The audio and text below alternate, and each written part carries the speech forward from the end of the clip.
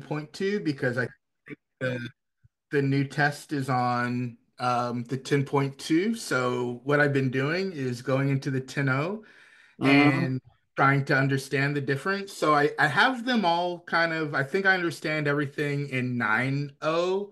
Um, but there was one thing with the natting that I wasn't completely sure on. So if I'm doing um, destination nats and the DNS rewrite portion of it. Um, so, you know, like I'm doing split DNS or um, I'm using just DNS and I'm having to do like U-turn um, nats and things like that. What I wasn't understanding is there are the two types of DNS rewrite. There was the forward rewrite and the reverse Yes, DNS right. rewrite, and I wasn't understanding the use case of the two of those, and also in the 10.0 um, if you're doing like a, a source NAT, it had the option to make it bidirectional. Mm-hmm. So is that bi-directional button just like making it so that you don't have to add extra inbound or um, destination nats um, when you're creating your source NAT, if it's like for a single IP, or Mm-hmm. is that like a different um, use? So the one thing like in the source NAT, right? You're asking like uh, we have this source NAT. These are all sections we have, right? Mm-hmm. So we just have to do the netting, right? Based on the like uh, static and we have the bidirectional, right? This is the same thing Mm-hmm. talking, right? But Yeah, yeah. So dynamic, if you dynamic, do that bidirectional, yeah. Bidirectional, that means if you are going to do the bidirectional, so that means let's suppose what is happening if we have the source, right? Source IP address and we have the destination IP address and you're not clicking the bidirectional. So only the traffic is going to be initiated from this device and then NAT is going to be work and then it will get the reply. Okay. mm-hmm. But if he is going to initiate the traffic to this source, it will never work.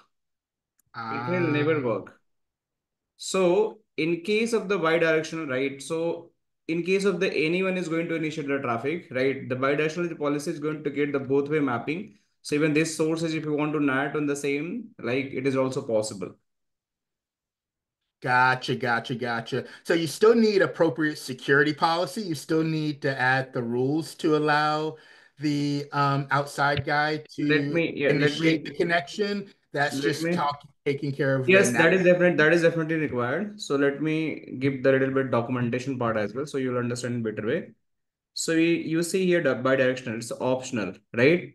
So it is Mm-hmm. written at enable bidirectional translate a static IP source address translation if you want firewall to create the corresponding NAT translation in opposite direction if you configure, just opposite. Gotcha. Means if you don't want to do the manual translation and you want to use the same as a source uh, translation in the reverse traffic, that is going to help you in the bidirectional translations. This is the optional. You can do that to just avoid additional one rule to write it. Right. Got it? So if you Yep. did it more, if you enable the bidirectional translation, you must ensure that you have security policy. Same thing you're asking, right? In Yep. place to control the both direction. So you forward direction traffic security policy already created. But what about a reverse direction? You don't have. So you if you're enabling this, so NAT is going to be there, but you also need to enable the security policy as well. Then it is going to work for you. Okay. So is it recommend so Yeah, so it's prob probably just to avoid misconfigurations and to allow access that you don't intend. You should probably not use the bidirectional unless that's your intent is to allow those outside devices to initiate inbound traffic. Right. Right. Okay. So you clear with this one? Shall I move to the Yes. second one? Yep. The second one you ask for the uh, DNS rewrite. So you're absolutely Yes. right. We have the reverse. That is the default one. Forward you want, you can use it. Let's read it and then I can explain it uh, in my wording as well. So you can see that after this PAN OS 9.0.2 and later release, right? If destination NAT policy rule type is IPv4 and the destination address are translated to the IP address, you can enable the DNS rewrite option, right? you can enable DNS rewrite if you use destination NAT, right? And also use DNS service on one side of the firewall to resolve any kind of the FQDN for the client on the other side of the firewall when DNS respond uh, traversed the firewall, the firewall read the IP in the DNS response relative to the original destination address or translate destination address to that DNS response match in the NAT policy rule. I'll explain in my wording, just read out, okay? A single NAT policy rule has the firewall perform the NAT package and, and that match the rule and perform the NAT IP address translation DNS response that match the rule. You must specify the firewall perform the NAT on the IP address in the DNS response related to the NAT rule and the reverse or forward, whatever you want to define. So default is going to be reverse. So in this, what is going to happen if the packet is the DNS response, right? That match the translation destination address in the rule. Translated, whatever translate destination respond using the reverse translation that you use. For example, if the translation is this one to this one, the mm-hmm. firewall rewrite the DNS response from this to this. So in simple mm-hmm. meaning, you can understand DNS rewrite means any FQDN any IP you want to just map. Let's suppose any DNS IP you have. This is a DNS IP. Just think means this is the actual light uh, translated IP. You have the destination, but you want to map into the public to private. So this is your mm-hmm. translation, right? So mm -hmm. this is your like kind of the your original traffic is going to hit, right? But mm -hmm. in the reverse direction, if the packet is going to become again, and then you want to rewrite, means you want to translate this IP to this, then it is going to use the reverse one. Is it make making sense? Means let's suppose any mm-hmm. FQDN you're going to use that, and this IP is any FQDN you're going to use it. That is might be the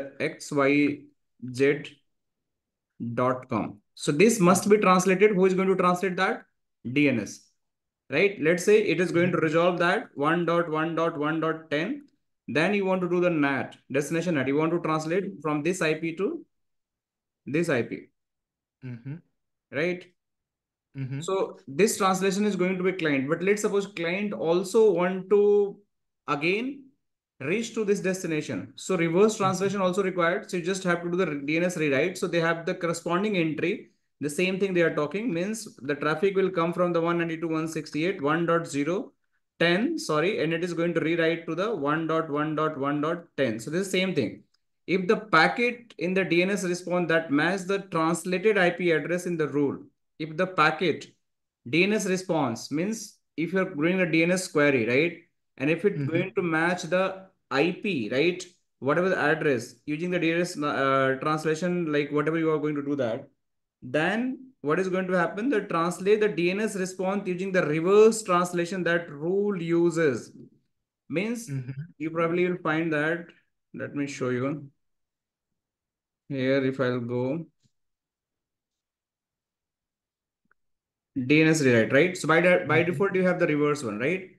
So mm -hmm. reverse one, that means whatever the traffic means you have the source means uh, you have the any kind of the static you want to translate, right? Then you just have to use it. So static IP, let's suppose I want get you back to the original. Yeah, yeah, this is the original packet. This is my source, right? And I want to translate. So this is going to maintain the enable DNS rewrite. Means DNS entry is going to be there. Let's and I'm assuming that DNS is going to come from the uh, configure service or management, the service IP that you have configured for that network. Um, so do you need a firewall security policy for the firewall to be able to talk to the, the client or by, uh-huh. Both way. DNS server also you need to be make the reachable means one DNS server, whatever available in the firewall, that right, right. should be reachable. So you go in the devices, your first DNS should be reachable. So yeah. by default, I'll go. And the second, whatever the client IP you have in regard of the FQDN, that policy should be there you can create the policy based on the FQDN, but that DNS entry is going to be there in the mm -hmm. device itself. So if I go here, let me go in the services. So you yep. see we have the DNS server as well. So this uh, DNS yep. server must be there and it should be reachable. Then right now there is no DNS server. So probably we can configure a DNS server. Let's suppose 1.1.1.1, right? So Mhm. this is going to first talk to DNS. Let's suppose you going here in the policy, and after going in the policy, you're going in a destination NAT, and this time you are not using the IP, you're just using the this FQDN, okay? Okay. So who is going to resolve uh, resolve that? DNS server, right? And then Mhm. you are creating this reverse one. So it is going to maintain one of the entry in their database. So any packet is going to reply back from this particular. So reverse mapping is going to happen from this to this as well. So same thing it is done. You got it? The reverse one first? Yes. Okay. Now let's solve the forward one. So if packet in the DNS response that match the original destination address. If packet in a DNS response means you query the DNS and in response, if reply is going to come and that is going to match the original IP address destination. What is original IP? This is my original. See? Mhm. So what is going to happen? That translate the DNS response using the same translation the rule used. Translate the DNS response means it is going to translate your DNS response by using the same translation translation means whatever DNS translation you will just have to do the mapping or whatever the policy you created just allow the you know uh, any FQDN to IP conversion like that is going to be converted. Likewise you can see there is given some example. If the rule translated from this to this right forward Mhm. again going to rewrite the same kind of the communication. So here only difference reverse and forwarding is like you can see if the packet in the DNS response means it is just the response matches the original destination address. And here what is written? If the packet in DNS response matches the translated address the translated address here and here the original address. This is the only difference. Ah. so this is talking about translated what is translated? This is your translated address right? And this Mhm. is for your original address. The both case the mapping is going to happen same but you just understand like in this way like one is for just to original packet one is for the reverse packet Okay, so the reverse makes a lot of sense to me. The forward one, so okay, so my my source, original source, let's say it's 192.168.1.1. And then for the if I do the forward rewrite, then it's Hmm. looking and it's saying that um, it's looking at my original destination, which would be that public server possibly, right? So it could be the 1.1.1.1 or the 1.1.1.10. Um, so it's looking at the 1.1.1.10. So then it's saying, hey, for the 1.1.1.10, send it back to my original source. Okay, I understand the reverse one. I'm I'm still not quite understanding the forward. so see both are a little bit confusing right so this one you understand right so you read the Yeah, yeah. word Yeah, that one makes sense. So like if yeah it hits my public IP or uh-huh. whatever, Uh-huh. uh, it's gonna rewrite it to the the the the original. So or the inside. I yeah. So it's gonna make it so that the the client on the inside knows how to resolve for that host. right agree so you Okay. you little bit have confusion forward right right Mm-hmm.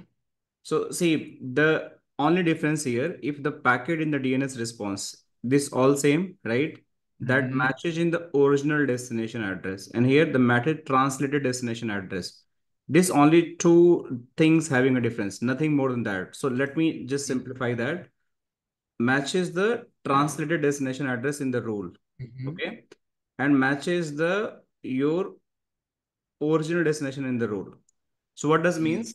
Means let's suppose you have the this is your packet right Mm-hmm. original packet and this is your source ip just think about 192.168.1.104 and you're just going to access ginet.com right So this mm -hmm. is your Mm-hmm. source IP address. This is your destination IP address. And this could be the original packet. And you must have to translate this packet, right? So the mm -hmm. is your translated packet. So source IP address, nothing they are talking about the source, right? So it is going to be always remain same. Now mm -hmm. they are talking about this one. So they are talking about the DNS response means if anything is going to come, right? You just have to any any communication is going to happen, first you have to go to the DNS server, right? DNS mm -hmm. is going to give the response, right? So based on this DNS, might be the IP is going to be converted in this way. Let me just write an IP address just for your understanding, okay? 1.10. So this is talking the DNS response is going to get as a translated address means this one, not original address means you, your this FQDN is map on this public IP address. Just think about 192.168.1.178, right? This is your original. And this is your translated packet. Let me make in the, just give me one minute. Let me make the more relevant. So this is 172.16.10.10. Think this is a private. So this IP is a public, right? So first, mm -hmm this is going to be normal translation and you are going to get this IP address. Makes sense in normal translation. Mm -hmm. But if you're using the reverse one, right? So DNS is going to give directly your translated IP address means not the original means you just go to DNS and you have the DNS rewrite means someone is going to come for this one, right? 178, you just translate on the 172.16 10.10 so that's why they're talking match the translation address in the rule means that this IP you're going to get this in the first case, reverse one. Is it clear? Mm -hmm. So that is known as a reverse. But in the forward case, what is going to happen? Packet DNS respond that match the original destination means it is just going to match this one only as your original destination. And based on that, they are they are going to do the again translation as per your NAT rule whatever they have means you're public to private. So that's why they're talking about if the packet in the DNS response matches the original destination address in the rule, translate the DNS response using the same translation rule use means it's a little bit confusing, but you just think about in first scenario, you just have to do the DNS rewrite based on your original destination to your translated destination. And based on your DNS rewrite, it will directly give the translated IP to go to destination. But if you are going to use the forward one, then they are going to use your original destination address. And based on that original uh, uh, destination address, they are going to use the NAT, NAT rule and they will just do the mapping for the translation. Mm. So little bit confusing, but you can just analyze the packet after doing the lab. You'll get that. And might be uh, you have to read a little bit more articles to just get the motor um like uh, more understanding on it. For sure. Yeah no. Hey thank you. Thank you very much. Yeah that that's about a, a, as much as i can absorb for today anyway all right guys so no worry so we can close it here okay and we will discuss more about the ssl decryptions in the monday okay we'll discuss about the ssl decryption on the monday will it fine for everyone because there is a less participant today. So I don't want to continue the class. Okay, guys, done? Okay, sir. All right, bye-bye. Take care. Enjoy your rest of the evening. See you on the Monday. All right.